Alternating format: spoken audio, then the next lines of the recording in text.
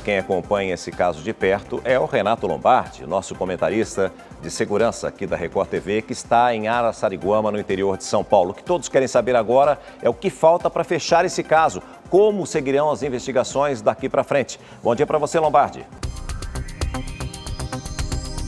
Bom dia, César. Bom dia a todos. Pois é, César. A polícia, ela simplesmente agora, ela está tentando montar um quebra-cabeças, por quê? Até sábado passado, o quebra-cabeças era dizer onde estava a menina Vitória. O objetivo era localizá-la com vida. A partir do instante do encontro do corpo, César, a polícia agora tem uma nova linha de investigação a partir de hoje, com as perguntas que a polícia vai querer fazer e as respostas que ela pretende obter. Quem matou Vitória? Por que matou Vitória? Que tipo de vingança aconteceu?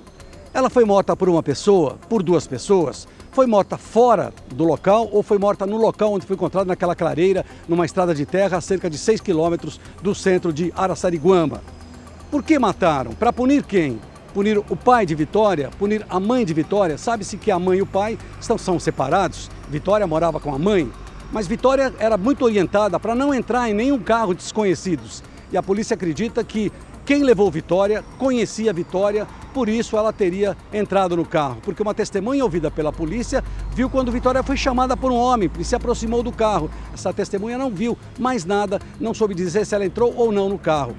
O corpo de Vitória foi encontrado com as mãos amarradas para trás com o cadastro dos patins e também com as pernas amarradas com o cadastro dos patins.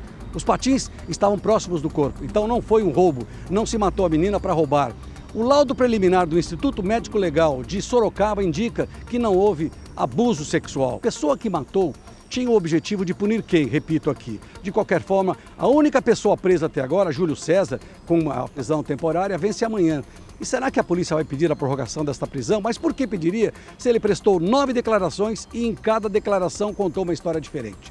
Então são detalhes todos deste crime um crime que chocou a cidade aqui de 17 mil habitantes e um crime que realmente a polícia acreditava que poderia solucionar na semana passada com o encontro de Vitória viva. A partir do encontro do corpo de Vitória, do assassinato de Vitória, resta saber quem são as pessoas que estão envolvidas. Quem matou Vitória? Esta é a pergunta que fica. Voltamos aos estúdios do Hoje em Dia. Obrigado pelas informações, Lombardi. Esse é um grande mistério a ser resolvido pela polícia. E, claro, a Record TV Hoje em Dia permanecem de plantão e a qualquer momento poderemos trazer novidades a respeito deste caso.